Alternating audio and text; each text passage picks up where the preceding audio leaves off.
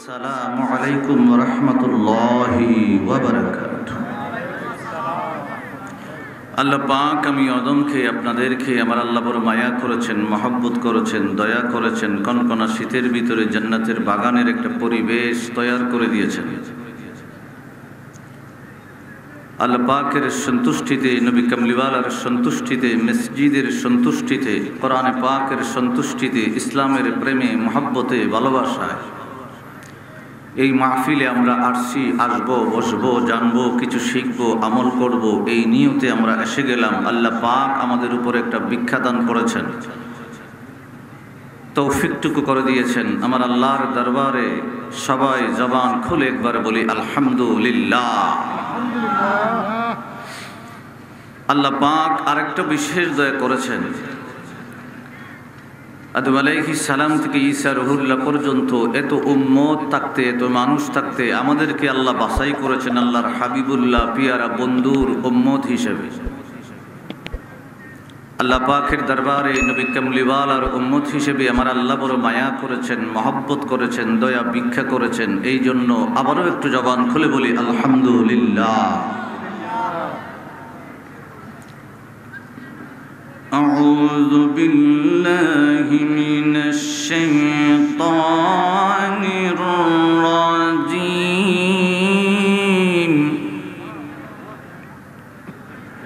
نحن قدرنا بينكم الموت وما نحن بمسبوقين.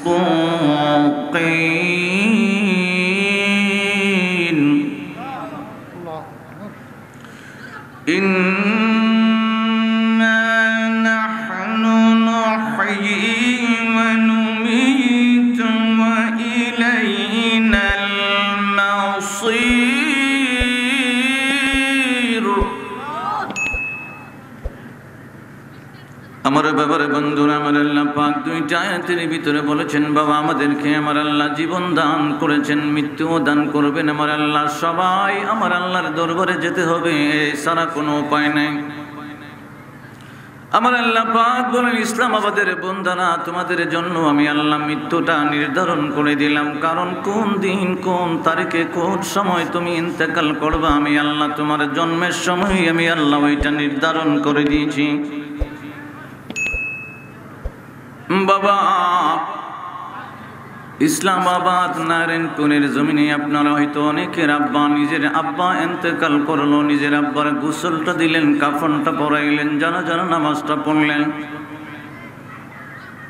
নিজে বাবা খাটিয়াটা কান্দে করে কবস্থানে নিয়ে গেলেন। এমন অনেক মানুষ আছেন, নিজের ছেলের খাটিয়াটা কান্দের ভিতরে নিয়েছেন কবস্থানে রেখে দিয়েছেন। আত্মীয় স্বজন দাদা, দাদি, আত্মীয় স্বজনের ভিতরে, পাড়া প্রতিবেশীর ভিতরে অনেকেই এন্তেকাল করল। আমরা নিজেই নিজে কবরের ভিতরে কবরস্থ করে দিলাম। কিন্তু আমরা একদিন কবরের ভিতরে যাইব, মনের ভিতরে ওই ভাবনা আসে না। যদিও ক্ষণিকর জন্য আসে, স্থির হয় না। স্থির যদি হয়ে যাইতো, আমাদের একবারে মৃত্যু হবে। কবরের ভিতরে যাব। কবরের জীবনে কিয়ামত পর্যন্ত থাকতে হবে। ওই লোকটা কোনো দিন আমার নবীকে বলতে পারে না। ঠিকঠাক কইন শৈল্য গরম লাগবে। কথা কয় না। এমন কোনো মানুষ নাই এখানে, এই গ্রামে, যে কোনো না কোনো সময় কোনো জানাজার মধ্যে শরিক হয়েছে না। কথা কয় না। আমার বাবারা আমার আল্লাহ মৃত্যু সৃষ্টি করেছেন যখন আমার আল্লাহ ফেরেস্তা বানায় নাই, আসমান বানায় নাই, জমিন বানায় নাই, চন্দ্র বানায় নাই, সূর্য বানায় নাই, কোনো কিছু বানায় নাই, আমি হাওয়া, হাদিস দ্বারা প্রমাণ করতে আরম্ভ করব আমার আল্লাহ। মৃত্যু সৃষ্টির রহস্যটা যখন করে দিয়েছেন, আমার নবী কামলিওয়ালা নিজের জবান মুবারক দ্বারা বলতে আরম্ভ করল, চিল্লায় কি শীত বলা যাবে আল্লাহ আকবার। আমার নবী বলে, আনিন নবী সাল্লাল্লাহু আলাইহি ওয়াসাল্লাম আন্নাহু লাম্মা খালাকাল্লাহু তাআলা আল মাউতা বি আলফি আলফি হিজাব। আমার নবী পাক ডাক দিয়া বলেন, ও উম্মতে মোহাম্মদের দল, তোমাদেরকে বানাইবার আগে আমার আল্লাহ মৃত্যুটা বানিয়ে নিয়েছে।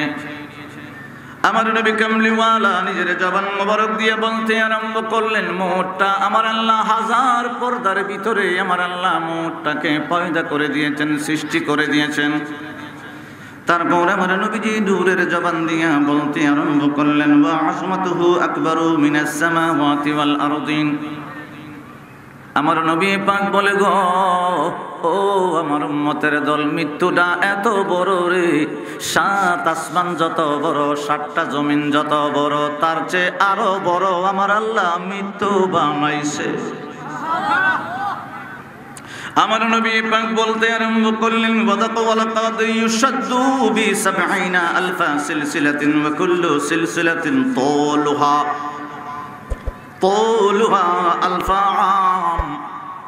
আমার নবী পাক বলতে আরম্ভ করলেন, মৃত্যুটাকে আমার আল্লাহ হাজার পর্দার অন্তরালে সৃষ্টি করে। আমার আল্লাহ সত্তর হাজার সিগল দিয়ে ওই মৃত্যুটারে বাইন্দ রাখছে। তারপরে আমার নবী বলতে আরম্ভ করলেন যে সিগলটা দিয়া বান্ধা রাখছে, সত্তর হাজার সিগল এক একটা সিগল হল রে আসমান থেকে জমিন পর্যন্ত পাঁচশো বছরের রাস্তা, আবার আসমান থেকে দ্বিতীয় আসমান হলো পাঁচশো বছরের রাস্তা। এক হাজার বছরের রাস্তা হলো একটা সিগলের সমান ওই রকম সত্তর হাজার সিগল দিয়া মৃত্যু আমার আল্লাহ বাইন্দা রাখছে। জুড়ে কি বলা যাবে নি? আমার নবী আরও বলতে লাগলেন ফাকাল আল্লাহ তাআলা লিল মালাইকাতু কিফু ফানজুরু। আমার নবী পাক বলতে আরম্ভ করলেন, আমার আল্লাহ তাআলা ফেরেশতাদেরকে অর্ডার করলেন ধীরস্থির ভাবে দাঁড়াও রে। আমি আল্লাহর দরবারে যখন তোমরা ফেরেশতা মৃত্যুকে দেখার জন্য আবদার করলাম, ও ফেরেশতা, আমার আল্লাহ ডাক দিয়া বলেন, ফেরেশতারা তোমরা ধীর স্থির ভাবে দাঁড়িয়ে যাও। আমার আল্লাহ মৌতকে যখন হুকুম করলেন, বাবা এই মৌত তোমার দেহের ভিতরে আমি আল্লাহ কিছু চক্ষু দিয়ে দিলাম ডানা দিয়ে দিলাম আমার আল্লাহ বলতে আরম্ভ করলেন বাবা فوقفت الملائكة كلهم أجمعين وقال الله تعالى للموت يقتر عليهم بأجنحة كلها وافتح أعينك একটু জোরে সোরে কি বলা যাবে সুবাহান আল্লাহ আমার আল্লাহ অর্ডার করলেন মৌত্রে ফেরেস্তাদেরকে বললাম, স্থির হয়ে দাঁড়ারে এ মত, তোমার শরীরের ভিতরে যতটা চক্ষু দিলাম, চক্ষুটা খুইলা দিবা। তোমার শরীরের ভিতরে যতটা পাখা দিলাম, পাখাগুলা খুইলা দিবা। মৃত্যুকে আমার আল্লাহ ডাক দিয়া বলে, তোমার চক্ষু খুইলা দাও, ডানা খুইলা দাও, পাখা খুইলা দাও, আর ফেরেস্তার উপর দিয়া উইরা যাইতে আরম্ভ করো। আমার নবী পাক বললেন ওয়াকাল আল্লাহ তাআলা লিল মাউত ইতির আলাইহিম বি আজনিহি কুল্লিহা ওয়াফতাহ আ'য়ুনাক فلما طار الموت نظر الملائكة فقروا বাবুসিয়ান আলাইহি বি আলফি আম ফেরেশতারা যখন দেখলেন বাবা ফেরেশতাদের উপরে দিয়া মৃত্যুটা উড়ে উড়ে যাচ্ছে মৃত্যুর দেহের ভিতরে যতটা চক্ষু আছে সব চক্ষু খুইলা দিল পাকা গুলা খুইলা দিয়ে ফেরেস্তাদের উপর দিয়া যখন উইরা উইরা মৃত্যু যায়, সমস্ত ফেরেস্তা আমার নবী বলে গো, এক হাজার বছর পর্যন্ত মৃত্যু দেইকা বেউস হইয়া গেছে। বন্ধু মালাকুল মৌত আপনার আসার আগে আগে মৃত্যুটা আপনার সামনে দেখা দিবে। মালাকুল মৌত আজরাইল আলাইহিস সালাম যখন আসবে রে বাবা, এর আগে মৃত্যুটা আপনার সামনে আমার আল্লাহ উপস্থিত করে দিবেন। যারা এন্তেকাল করবে, এন্তেকালের আগে আগে মৃত্যুটা আগে দর্শন হয়ে যাবে, মৃত্যুটাকে আপনি দেখবেন, তারপরে না মালাকুল মৌত আপনার সামনে আসবে। আমার নবী পাক বলে, মৃত্যুটা এত বড় রে, সাত আসমান আর সাত জমিনের চেয়ে আরও বড়। সত্তর হাজার সিগল দিয়ে ওই মৃত্যুটারে আমি আল্লাহ বান্দা রাখছি। এক একটা সিগল হলো এক হাজার বছরের রাস্তা। সুবাহান আল্লাহ কি বলা যাবে? আমার নবী পাক বলতে আরম্ভ করলেন, আবদুল্লাহ ইবনে আব্বাস রে, পৃথিবীর জমিনে তিন জাতের মানুষ আছে, তিন জাতের মৃত্যু হবে। এক নম্বরে মৃত্যুটা দামি মানুষ দামি মানুষগুলা কেনা বাবা, আমার নবী কামলিওয়ালার কদম মোবারকে যারা জীবন কোরবান করে দিছে, পৃথিবীর জমিনে ওই মানুষগুলা হলো সবচেয়ে দামি। আমার আমার নবী পাক বলতে আরম্ভ করলেন, তিন জাতের আমার উম্মতে মোহাম্মদের তিন প্রকারের মানুষ আছে, তিন প্রকারের মৃত্যু হয়ে যাবে। পৃথিবীর জমিনে যারা আমার নবী পাকের কদম মুবারক বাবা জীবন কোরবান করে দিল জীবনটা যখন কোরবান করে দিল, এর ভিতরে একজনের কথা বলতে আরম্ভ করলাম।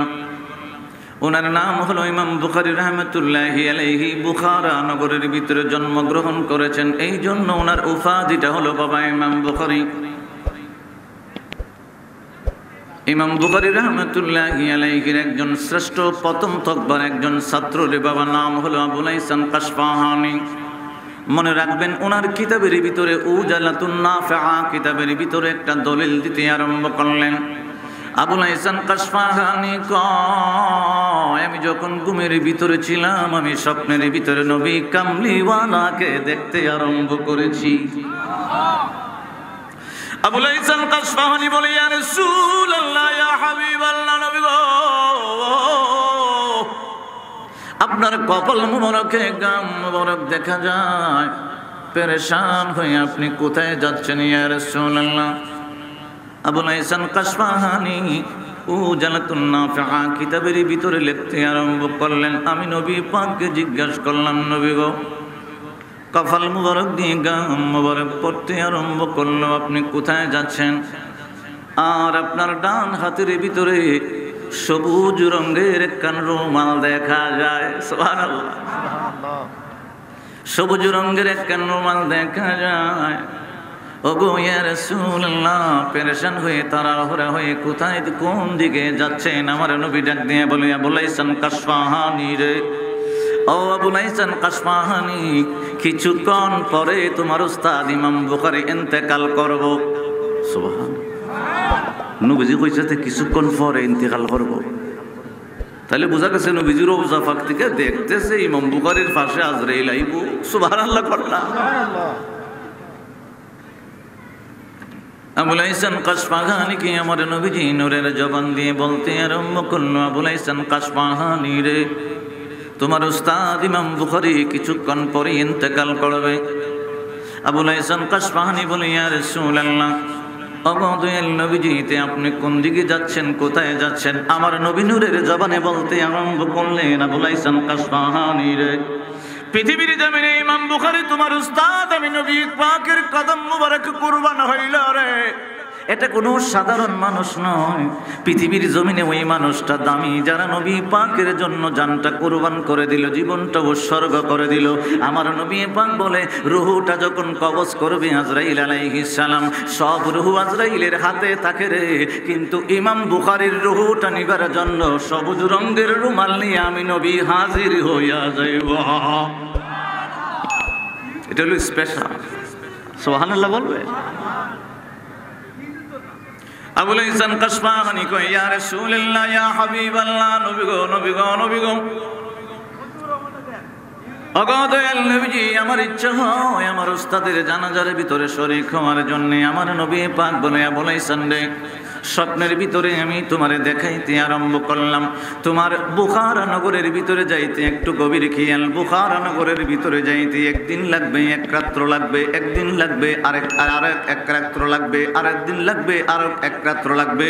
আমার নবী পাক বলে, তিন দিন তিন রাত্র লাগবো। বলাইছেন কাশফাহানি বুখারা নগরে তোমার উস্তাদের কাছে যাইতে জানা যায় শরীক হওয়ার জন্য। দেখা গেল বাবা আবুল হাসান কাশফাহানির যখন স্বপ্নটা ব্যঙ্গে গেল, ঘুমটা ব্যঙ্গে গেল, উনি পাঞ্জাবি গায়ে দেয় নাই।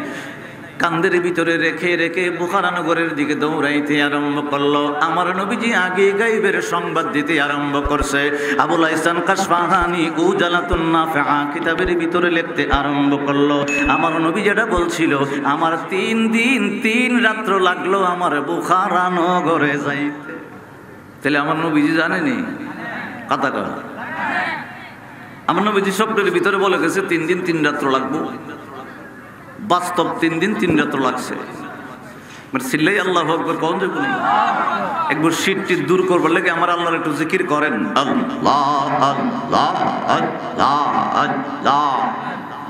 সবাই সবাই।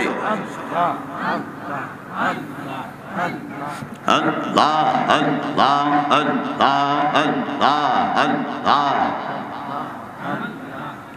আওয়াজ নাই কেরে। আল্লাহ সব দিয়ে যুবক, তা আওয়াজ নাই কেরে। ফ্যান্ডেলের মধ্যে তো বাড়ির লোক তো আছে। আল্লাহ আল্লাহ যতই সাজাও, যতন করে নোটিশ পাইলে ছাড়তে হবে। আল্লাহ আল্লাহ আল্লাহ প্রেমে। আল্লাহ যতই সাজাও যতন করে নোটিশ পাইলে ছাড়তে হবে। সেই না বাড়ি গর আল্লাহ আল্লাহ। আপন যারা ছিল তোমার সবই হইব আপন যারা ছিল তোমার সবই হইব পর আল্লাহ আল্লাহ। প্রেমে, আল্লাহর প্রেমে। আল্লাহ আল্লাহ।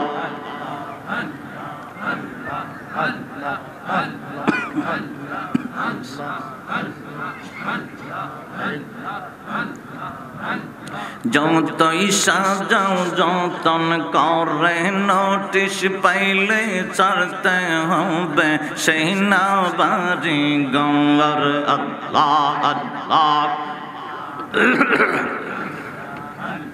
আপন যারা ছিল তোমার সবই হবে পাওয়ার। আল্লাহ আল্লাহ। এই পৃথিবীর মায়ায় পরে পাওয়া পণ্যের হিসাব নেওয়া করে। জবান হবে, আল্লাহ আল্লাহ। কত কিছু করলা তুমি জমিনের পঙ্গর আল্লাহ আল্লাহ এই পৃথিবীর মায়ায় পরে পাওয়া পণ্যের হিসাব নেওয়া করে কত কিছু করলা তুমি জমিনের পঙ্গর আল্লাহ আল্লাহ তোমার যেদিন হবে সমন জারি বিদায় ঘন্টায় পড়বে বারে। আল্লাহ। তোমার যেদিন হবে, সমন জারি বিদায় ঘন্টায় পড়বে বারে স্ত্রী, পুত্র, আত্মীয়, স্বজন রাখবে না খবর। আল্লাহ আল্লাহ।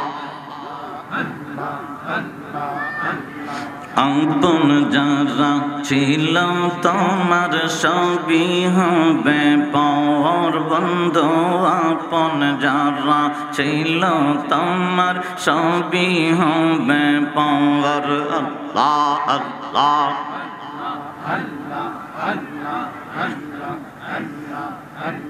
আজ রহিল সেই যখন তুমি বয়ে কাঁদবে তখন আল্লাহ। আজ রহিল সেই যখন তুমি বয়ে কাঁদবে তখন, তোমার পাশে বসবে সবাই সারি সারিয়ে আল্লাহ আল্লাহ। কেউ দিবে মোকে পানি কেউ বা পড়বে কলমা জানি কেউ দিবে মোকে পানি কেউ কলমা পড়বে জানি আল্লাহ আল্লাহ আল্লাহ আল্লাহ কেউ করবে কান্না কাটি কেউ দিবে কবর, কেউ করবে কান্না, কাটি কেউ করবে কবর। পনে যারা ছিল তোমার সবই হবে পাওয়ার পনে যারা ছিল তোমার সবই হবে পাওয়ার যতই সাজাও, যতন করে নোটিশ پہلے سر سین برست ری اللہ الہ اگلا الہ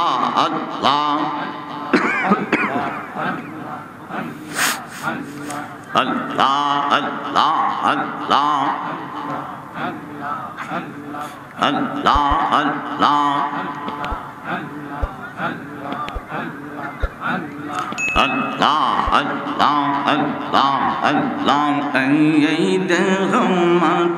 হবে কবর হবে ঠিকানা আল্লাহ সেই কবরে নেই রে বাতি নেই রে কোন বেচানা সেই কবরে নেই রে বাতি নেই রে কোন বেচানা মায়া করে আল্লাহ আল্লাহ এই দেহ মাটি হবে, কবর হবে, ঠিকানা এই দেহ মাটি হবে, কবর হবে, ঠিকানা সেই কবরে নেই রে বাতি, নেই রে কোন বেচানা আল্লাহ আল্লাহ। সম্পদ খাবে পুত্র কন্যায়াতীয় দেহ খাবে পোকা মাকর হইলে মরণ। আল্লাহ। সম্পদ খাবে পুত্র কন্যা, আত্মীয় সজন দেহ কাবে ফোকামা কর হইলে মরণ। কিসের তো দম্বরে মন কিসের তো দম্বরে মন اللہ کی شیر تو دمبار من کیوں تو کا رہنا زبان کھلے۔ اللہ اللہ اللہ اللہ۔ সেই কবরে নেই রে বাতি নেই রে কোন বেচানা হওয়া তাকতে সময় খোঁজ রে মনাত্ম পরিচয় আল্লাহ تکتے سمائی کھو جو ریمونت پاری چھوائی کھانی کیری مانب جانم سبیو بینوائی اللہ اللہ اللہ لا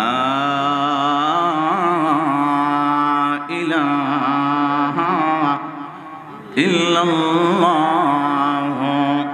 মুহাম্মাদুর রাসূলুল্লাহ সাল্লাল্লাহু আলাইহি ওয়াসাল্লাম। আমার নিজের বাবারা, প্রাণের মহল্লার গ্রামের বাবারা বন্ধু আরে আবুল হাসান কাসফাহানি দৌড়ি দৌড়ি, বাবা, তিন দিন তিন রাত্রে যাইয়া বুখারা নগরের ভিতরে পৌঁছলেন, গিয়ে দেখলেন তো বাবা, জানাজা হয়ে গেল কাফন তাপন হয়ে গেল, কবরের ভিতরে ইমাম বুখারি রহমতুল্লাহি আলাইহি কে রেখে দেওয়া হয়েছে। বলে, আমি যখন আমার উস্তাদের কবরের পাশে গেলাম জিয়ারতের উদ্দেশ্যে, কারণ আমি তো জানাজার নামাজটা পাইলাম না, জিয়ারতটাই করব। আমি যখন ইমাম বুখারি রহমতুল্লাহি আলাইহির কবরের পাশে দাঁড়াইলাম, আমি দেখতেছি রে, আমার উস্তাদের কবরের মাটি থেকে মেশকে আম্বরের গন্ধ বাহির হওয়া। মানুষ বরকতের জন্য চিমডি দিয়ে বরকতের জন্য আমার উস্তাদের কবরের মাটিটা নিয়ে যাচ্ছে। আমি তখন আমার উস্তাদের কবরের পাশে কাশফুল কুলুব মোরা কাবার ভিতরে বসে গেলাম। কাশফুল কুরুব মোরা কাবা করলাম। কারণ হলো কি রে? আমার নবী কামলিওয়ালা আসতে আরম্ভ করল কফল দিয়ে গাম মোবারক জড়তে আরম্ভ করল, হাতের ভিতরে সবুজ একটা কাপড় নিয়ে আসলো। আমার উস্তাদের মৃত্যুর আগে আগে উপস্থিত হয়ে গেল, আমার মনের ভিতরে একটা কৌতূহল সৃষ্টি হয়ে গেল। আমি তখন মোরা মোরাকাবার ভিতরে বসে গেলাম, কাশফুল কবর মোরাকাবা করলাম, কবরের ভিতরে আলমে বরজকের সাথে একটা লাইন লাগাইয়া দিলাম। সুহান আল্লাহ কন্যা বন্ধু এটা যে কাশফুল কবর মোরাকাবা করলাম, আমার নবী কামলিওয়ালা কয়, আশ-শরিআতু শাজরা, আত-তারিকাতু আহসানুহা, আল-মারিফাতু আওরাকুহা, আল-হাকিকাতু সামরতুহা। আমার নবী আর কয়, আউলিয়াই তাহতা কবাইলা ইয়ারিফুহুম গায়রি চিল্লায়ে কি বলা যাবে নি? আল্লাহু আকবার। কারণ আমার নবী কামলিওয়ালা সিলেটের জমিনে আসে নাই, বাংলাদেশে আসে নাই। আমার নবী পাকের গোলামের দল তিনশো ষাট একজনের নেতৃত্বে বাবা শাহজালাল রহমতুল্লাহ আলাইহির নেতৃত্বে সিলেটের পণ্যভূমিতে এসে গেলেন বাবা। তাদের জোর একটাই ছিল, ক্ষমতা একটা ছিল। কারণ হলো ওনাদের ভিতরে শরীয়ত ছিল আর শরীআতু সাজরাও ছিল, আত-তারিকাতু আসানুহা ছিল আল মারিফাতু আওরাকুহা ছিল আল হাকিকাতু সামরুতুহা, এটাও ছিল রে বাবা। কারণ ওনাদের মধ্যে শরীয়ত ছিল, তরিকত ছিল, মারিফত ছিল, হাকিকত ছিল এই জন্য লাড়ি সুড়া তলোয়ার নিয়ে আসতে হয়। এখন যারা আমরা লেখাপড়া করে যারা বাবা আল্লাহর অলিদেরকে অস্বীকার করতে আরম্ভ করি। তরিকত মানি না, মারিফত মানি না, হাকিকত মানি না। আমার নবী কয় আর সাজরা শরীয়ত হইল একটা গাছ। আর তরিকাতু আসানুহা, ওই শরীয়তের গাছের ডালটা হইল তরিকত। আমার নবী কয় আল মারিফাতু আওরাকহা, শরীয়তের পাতা পল্লব হইল মারিফত। আল হাকিকাতু সামরুতুহা, শরীয়তের গাছের ফল হইল হাকিকত। আমরা চোদ্দ গোষ্ঠীর মাথাডারে বাবা শাহজাল রহমতুল্লাহ আলাইহি সহ তিনশো ষাট উলিয়া চোদ্দ গোষ্ঠীর মাথাডারে লিঙ্কটি গুল্লা টুফি পরাইয়া, কলমা পরাইয়া, মুসলমান মানে ছেড়ে দিছে কথা হয় না? এবার বলা মুসলমানের ঘরে মুসলমান মুসলমানের ঘরে মুসলমান মুসলমানের ঘরে মুসলমান, আব্বার আম- আমার আব্বাও মুসলমান আমি মুসলমান। কথা কয় না? কারণ চোদ্দ গোষ্ঠীর মাথাটা যিনি মুসলমান বানাইছে, এটা আমার নবী ফাকের গোলাম। কথা কয় না করে এখন অলি আল্লাহদেরকে অনেকে অস্বী- অস্বীকার করে, বড় বড় কিতাব কইরে, আর মুরুক্কু বেড়া কই অলি আল্লাহ মানি কেরে আমরা চোদ্দ গোষ্ঠীর মাথাটা রেহার ওই মুসলমান বানাইছে। কথা খানা। এ বন্ধু, আবুল ইসলাম কাশফাহানি কাশফুল কবুর মোরাকাবা যখন করলাম, আলমে বরজ করে দিকে আমি, বাবা। লাইনটা যখন লাগাই দিলাম, আপনারা বলবেন, উনি তো কবরের ভিতরে আছেন। না বাবা, ইসলামাবাদ নারায়ণপুরের কবস্থান আছে। যুগ যুগ ধরে হাজার হাজার লক্ষ লক্ষ মানুষ কবরস্থ করা হয়েছে, বাবা। একজন একটা কবরের উপরে আর একটা কবর দেওয়া হচ্ছে। যদি এই রকম বিধান না থাকতো, তাহলে এখান থেকে ঢাকা, এখান থেকে সিলেট পর্যন্ত কবস্থান হইয়া যাইত। আমার আল্লাহ পাক ওই লোকটাকে আলামে বরজকে নিয়ে যায়।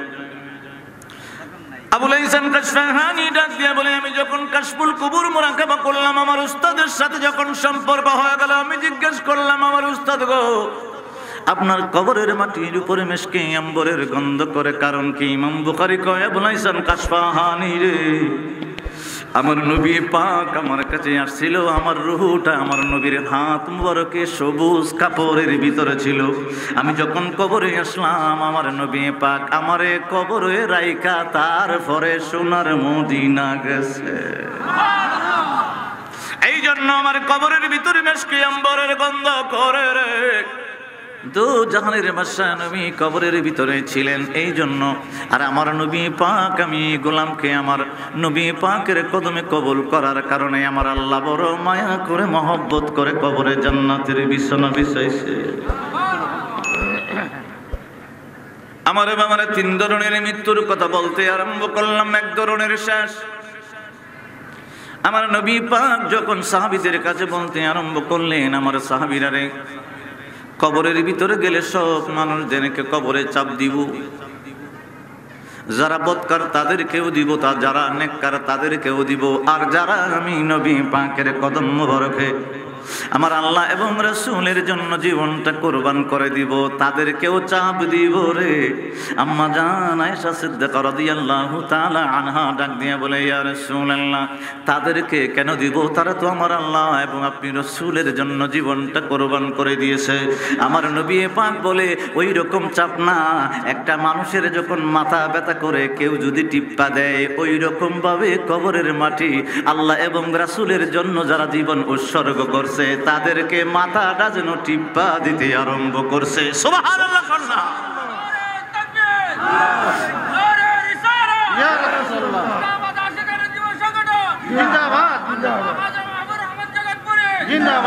এবার আমি দুই নম্বরে মৃত্যুর কথা বলতে আরম্ভ করি।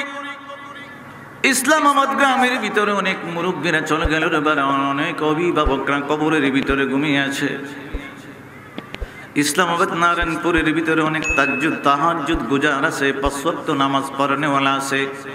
আমার আল্লাহর প্রেমী, নবী কামলিওয়ালার প্রেমে, যারা চলতে আরম্ভ করল, নবী পাককে যারা অনুসরণ করে প্রথমটা বললাম, নবী কামলিওয়ালার কদমে কোরবানের কথা বললাম। এখন দুই নম্বরে মৃত্যুটার কথা আরম্ভ করলাম। যারা নবীওয়ালা, আমার নবী পাকের জন্য যাদের অন্তরে প্রেম আছে, ভালোবাসা আছে, আমার নবীজিকে অনুসরণ করে, অনুকরণ করে।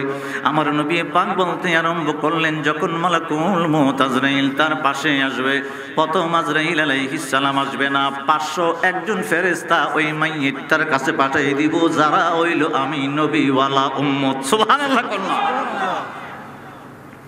আমার নবী পাক বলতে আরম্ভ করলেন, পাঁচশো একজন ফেরেস্তা আসবে ইসরাইল আলাইহিস সালামের পক্ষ থেকে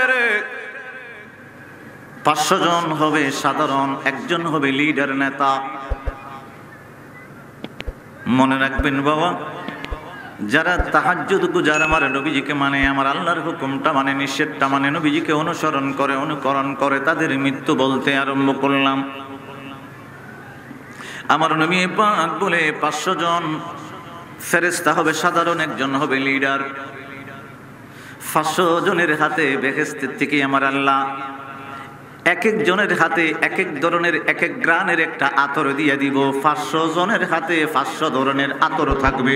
একটা গ্রানের সাথে আর একটা গ্রান মিলবে না, ভিন্ন ভিন্ন হবে। ওই মাইয়েটার চতুর্দিকে পাঁচশো ফেরেস্তা পাঁচশো জাতের গ্রান নিয়ে দাঁড়াইব। আমার নবী পাক বলতে আরম্ভ করলেন, পাঁচশো জন হলো সাধারণ ফেরেস্তা তাদের হাতে হলো বেহেস্তি আতর। আর যিনি পাঁচশো একজনের লিডার রে, তার হাতে বেহেস্তি একটা রায়হান ফুল থাকবে, বাম হাতে একটা সবুজ কাপড় থাকবে। চিল্লে কি বলা যাবে নি? আল্লাহ একবার এমন একটা দিন আসিবে, আমার নসিবে। এমন একটা দিন আসিবে আমার তাকে দিরে সেদিন আপন জনা যতন করে রাখবে আমায় কবরে। আপন জনা যতন করে রাখবে আমায় কবরে। যাদের জন্য জীবনটারে কইরা গেলাম ক্ষয় তারা আমায় দেখলে সেদিন পাবে বড় বই ফাইব কি আপনারে? আপনার স্ত্রী আপনার বই ফাইব মরে গেলে কথা কনা কেন? স্ত্রীর লোকে সারা জীবন কাটাইছে। আব্বার লোকে ফোলা সারা জীবন কাটাইছে। যখন ইন্তেকাল করব, আপনি যদি আপনার আব্বারে কোন, আব্বা, আমার ইন্তেকালের পরে আমার পাশে বসে থেকেও যদিও আপনি ফুলা, এরপরে ফাঁসের বাড়ির বাই বেড়া তোর ডাক্কে আনব। আমার ফুলা তো লাশ রে, আমার তো বয় হয় কথা হয় না। আপনারা যদি বলে যায় ছেলেরে সারা জীবন লালন পালন করলাম রে তোর যেটা চাইছিস এটাই দিছি। আমার ইন্তেকালের পরে আমার বিভিন্ন ফলাফান তো আছে। একটা চট্টগ্রাম থাকে, একটা ঢাকা থাকে, একটা সিলেট থাকে। এরা আইতে আইতে একটু দেরি যদি হয়, এক রাত্র যদি পাহির হয়ে যায়, আমার পাশে একটু বৈশা থাকিস, আপনিও আপনার শাস্তল ভাই আশেপাশে ইমাম সঙ্গে শুদ্ধ নিয়ে বয়ে তুলবেন না মনে ঠিক না। কারণ আপনি তখন বই পাইবেন। আগে বই পাইতেন না। পৃথিবীর জমিনে যখন বাচ্চা ছিল তখন কোনো বই নাই। যখন ইন্তিকাল করছে, লাশ হয়ে গেছে, এখন আব্বাও বই গেছে। কথা কয় না যাদের জন্য জীবনটারে কইরা গেলাম ক্ষয় তারা আমায় দেখলে সেদিন পাবে বড় বলবে সবাই জলদি করে, বলবে সবাই জলদি করে লাস্টারে নাও বাহিরে। আপন জনা যতন করে রাখবে আমায় কবরে। আপন জনা যতন করে রাখবে আমায় কবরে। এমন একটা দিন আসিবে, এমন একটা দিন আসিবে আমার তোকে দিরে আপন জনা যতন করে রাখবে আমায় কবরে। আমার রেখে যাওয়া দন সম্পদ হবে বাগাবাগি। ঠিক কিনা না আরে কথা কথা ঠিক নেই। আমার রেখে যাওয়া দন সম্পদ হবে বাগাবাগি সাত লোবে কেউ বা আবার করবে মারামারি। স্বার্থ লুবে কেউ বা আবার করবে রাগারাগি। ভুলে যাবে আমায় সবাই রাখবে না কে অন্তরে।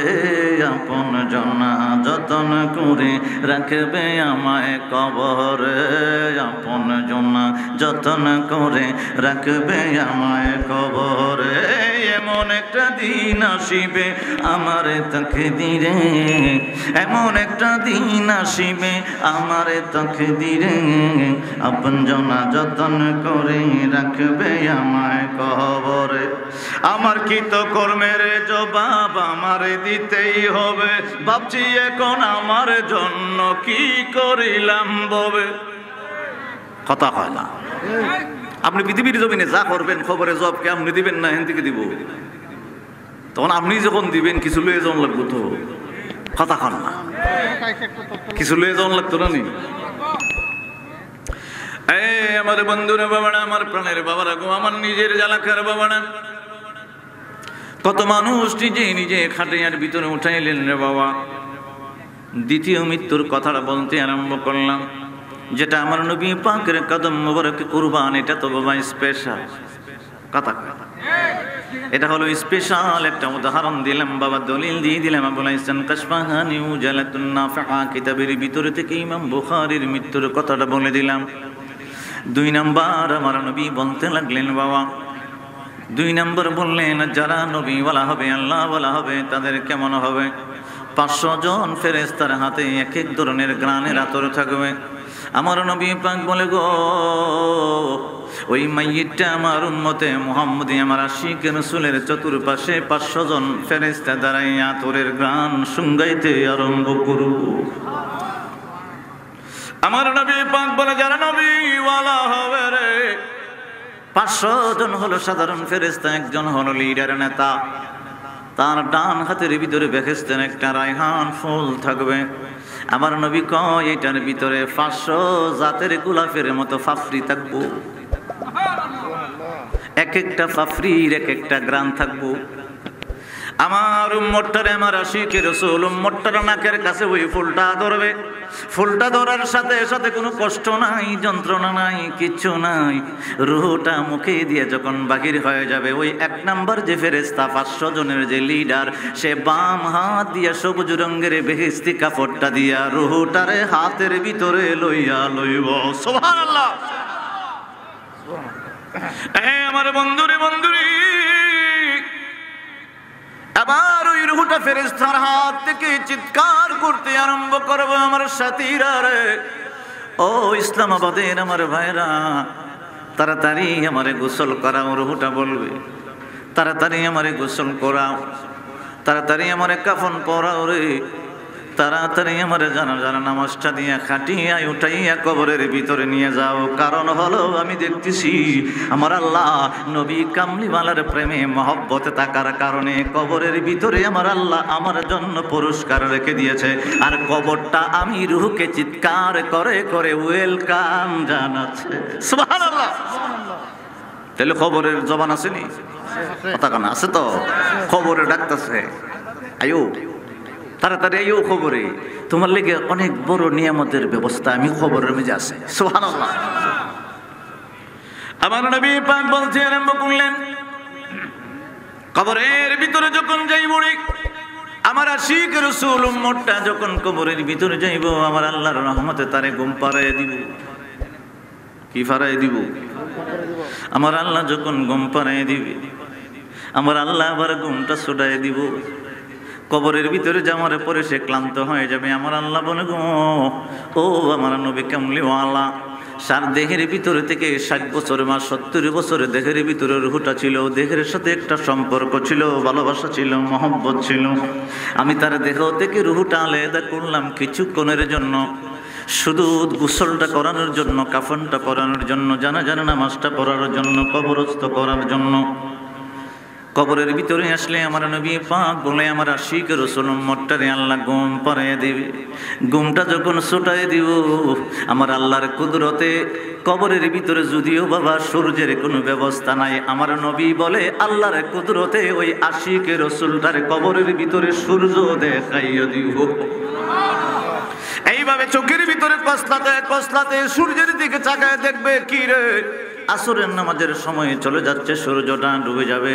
ওই সময় আমার নবীজি বলেন বেহেস্তি একটা মুস্কি হাসি দিয়ে বলেন, আমার সাহাবির দলেরা সে যখন চোখটা ডলতে ডলতে উঠবে আর সূর্যটা দেখবে, আমার আল্লাহর কুদরতে কবরের ভিতরে সূর্যটা দেখাই দিবে। ওই টাইমে মনকিরে ঈশা বলবে, মনকির নকির প্রশ্ন করবে, মান রাব্বুকা? তখন আমার আশিকের সুলুম মট্টা বলবে আই বেটা, মান রাব্বুকা বলার কোনো সময় নাই রে।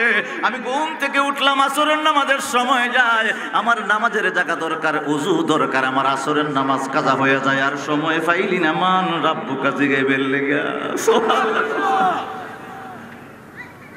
আমার নবী পাক বলতে আরম্ভ করলেন, যারা আমি নবী পাকের অনুসরণ করে, অনুকরণ করে আমি নবী ওয়ালা উম্মত হইব কবরের ভিতরে যাই আমার আল্লাহ কুদরতে সূর্যটা দেখায় দিলেন, আমাদের জন্য পাগল হয়ে যাবে, দিওয়ানা হইয়া যাইব।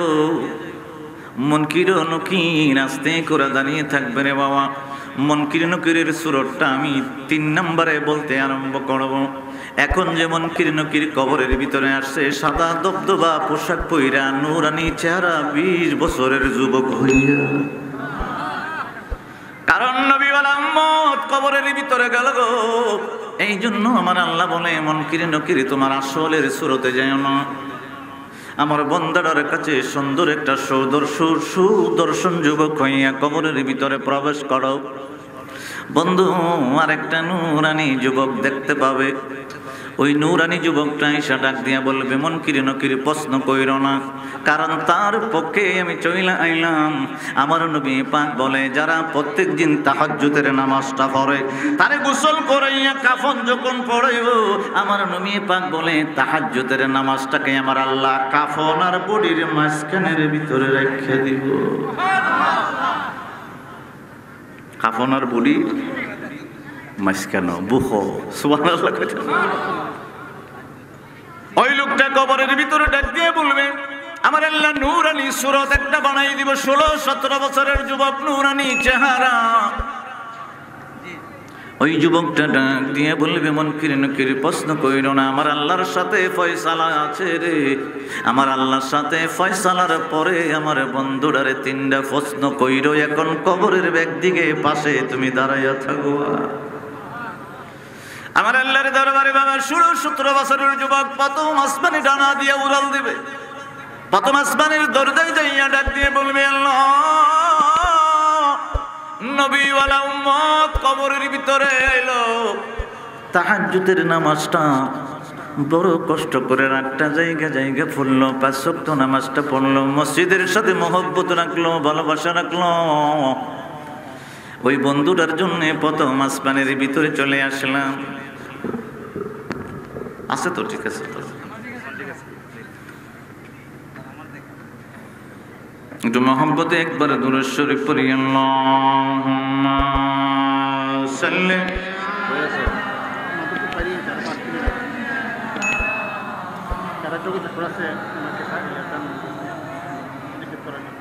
وعلى آل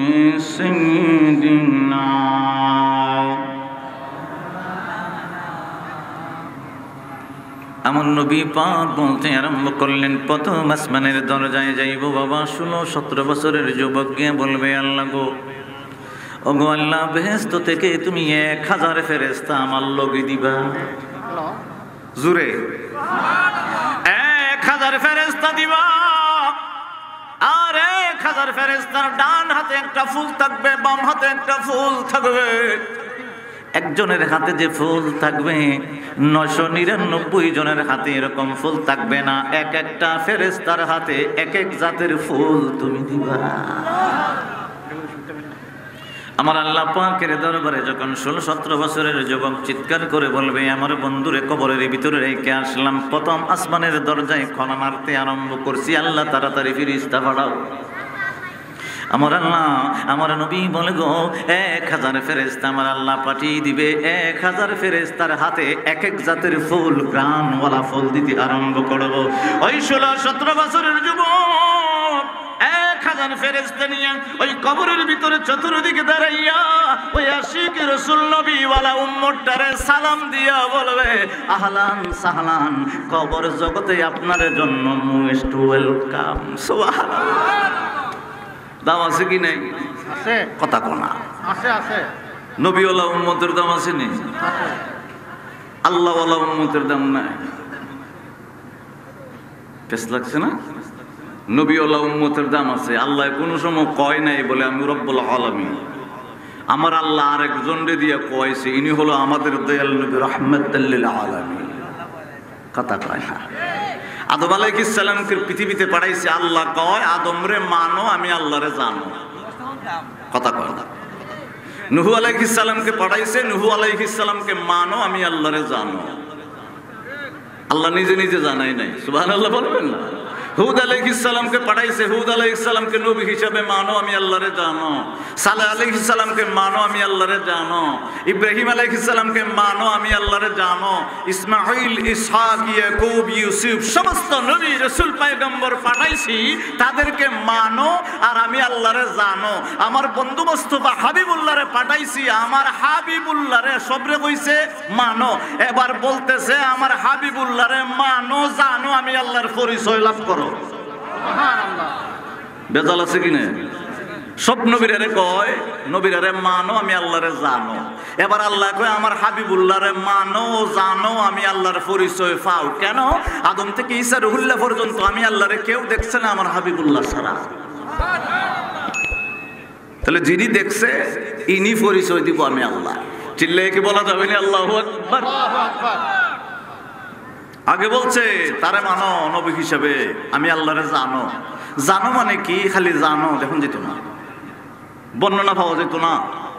আর হাবিবুল্লাহরে মানো, জানো, আমি আল্লাহর পরিচয়টা ফায়ালাও খেললিগে আমার হাবিবুল্লাহরে সাতাশ বছর সূর্যের ওফ করে মানে স্টপ দাঁড়াই থাকে। পৃথিবীতে আমার আল্লাহ পাঁচবার সূর্যটারে দাঁড় করে রাখছে। সুবাহ আল্লাহ বলবেন কয়বার? পাঁচবার সময়টারে আমার আল্লাহ বলছে স্টপ লরিস না। নবীজির কথায় তিনবার। কন্যা কার কথায়? মাফাতিহুল আরদি বা খাজাইনুল আরদি ওয়া মাফাতিহুল বিলাদ। বুখারী শরীফে হাদিসটা পাঁচবার আছে পৃথিবীর জমিনের খাজানা বলেন সূর্যের কন্ট্রোল পাওয়ার বলেন চাঁদের কন্ট্রোল পাওয়ার বলেন বুরুজের কন্ট্রোল পাওয়ার বলেন সর্ব কিছু আমার নবী মাফাতি মানে সাবি নবীজির হাতে। মাফাতি অর্থ কি? সাবি। খাজানা তো ভান্ডার মানে পৃথিবী। পৃথিবীর জন্যই সূর্য, পৃথিবীর জন্যই চন্দ্র, পৃথিবীর জন্যই আসমান, পৃথিবীর জন্যই তারকা, পৃথিবীর জমিনের জন্য, পৃথিবীর জমিনের নিচে স্বর্ণ, রূপা, লোহা, তামা, যত খনি আছে, পৃথিবীর জমিনের যত বাদশাহী আছে, মাফাতিহুল বিলাদ। বিলাদ মানে রাজত্ব, সমস্ত রাজত্বের চাবি আমার নবীর দ্বারা। তারপরে আমার আল্লাহ কয় খাজা ইনুদ দুনিয়া বল খুলদি খুল মানে বেহেস্ত চিল্লাইয়া রসুল্লাহ কোন যাব ইয়া খুল অর্থ কি? বেহেস্ত কন্যা কি?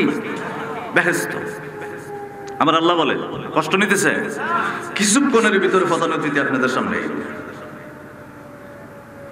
قل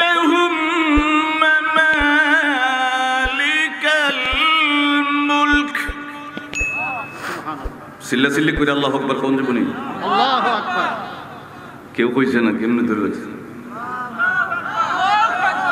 বোঝা যাইতেছে মানে এইভাবে চাদর দিয়ে রাখলে অক্সিজেন পিতে যাইতো না। শ্বাসটি হিজাটি বাইর হয় হতা কনা করে।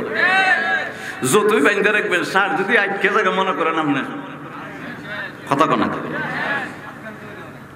মানব গাড়ি হাওয়াই চলে, দেখতে গাড়ি, কি সুন্দর আমার মালিক, আজব কারিগর।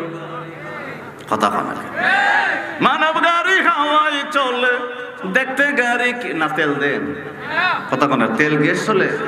মানব গাড়ি হাওয়াই চলে, দেখতে গাড়ি, কি সুন্দর আমার মালিক, আজব কারিগর বলেন আমার মালিক। গাড়ির নাট বল্টু চারা, হাই হাই, দুই চাকা খারা। বাতাস নেই আর বাতাস ছাড়ে লাগে না বারা বাতাস নেই আর বাতাস ছাড়ে লাগে না ভাড়া এই গাড়ি যে বানাইছে, এই গাড়ি যে বানাইছে, না জানি সে কি সুন্দর। চিল্লে কোন যাবনি আল্লাহ? এই গাড়ি যে বানাইছে। এই গাড়ি যে বানাইছে। না জানি সে কি সুন্দর। আমার মালিক আজব কারিগর বলেন আমার মালিক।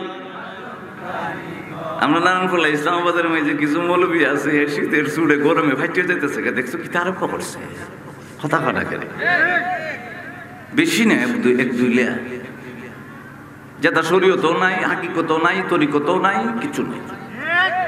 কথা কথা করে ও তো সোজা না জিন্দিগি নবীওয়ালা ও নত সোজা না। সিপতে সিপতে আমের রস রাখতো না আল্লাহ। কথা করে গাড়ি দেখতে চমৎকার, তাতে কল কবজার বাহার।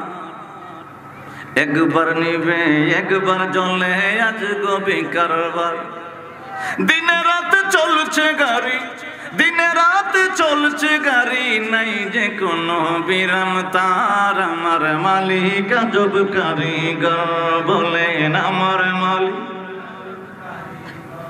গাড়ির মোহনি দ্বারা হাই হাই কঠিন সিলমোহর মারা। গাড়ির মোহনি দ্বারা কঠিন সিলমোহর মারা। দিন তারিখ শেষে হইলে দিবে না সারা। এই দেখো উম্মতে মোহাম্মদ কেন নাই, মাহফিলও নাই, সব খবর গেছে আচ্ছা বলছেন নি আপনারা। আলহামদুলিল্লাহ। কেটা মুখ কেড়ে বাইন্দার একজন কেড়ে? আইও নি কেন? আরে আইন উঠে আইন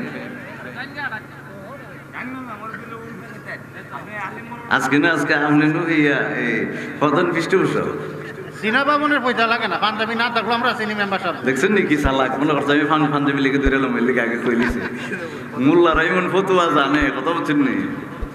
মানে গান্দা পাত্র আলাল করলি কথা বল না।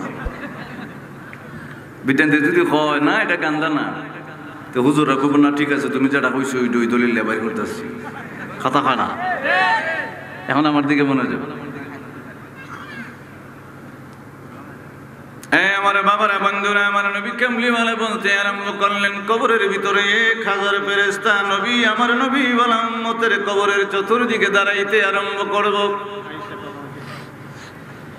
আমার নবী কয়, যারা বলা হইব রে, কবরের ভিতরে কোনো চিন্তা নাই।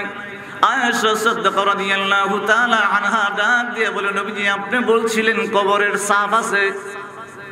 যারা আল্লাহ এবং রসুলের কদমে জীবন কোরবান করল, তাদেরকে নাকি মাথা ব্যথার মতো একটু টিপা দিব।